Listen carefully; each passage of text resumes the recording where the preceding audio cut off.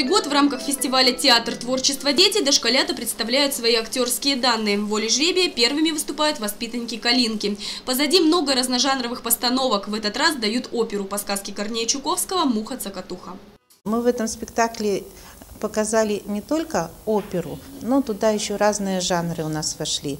Это и народность, и современность. За две недели дети успели разучить хореографические этюды и сольные партии.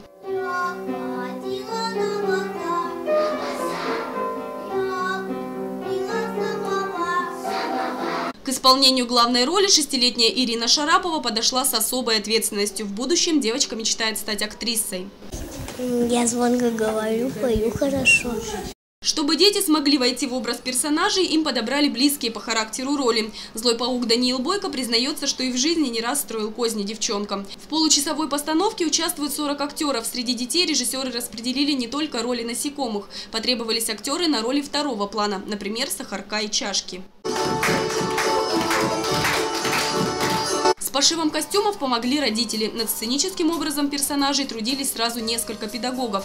Совместное творчество детей и взрослых опытное жюри оценило в 39 из 40 баллов. Впереди выступления остальных детских садов. Результат этого фестиваля его нельзя умолять, он огромен. Во-первых, мы живем в маленьком городе, у нас нет возможности посещать театры так, как бы нам хотелось. А приобщение к театральному искусству носит глубокие эстетические корни. За отличную премьеру артисты получили сладкие призы. Театральные подмостки «Салды» с нетерпением ждут, когда подрастут юные дарования.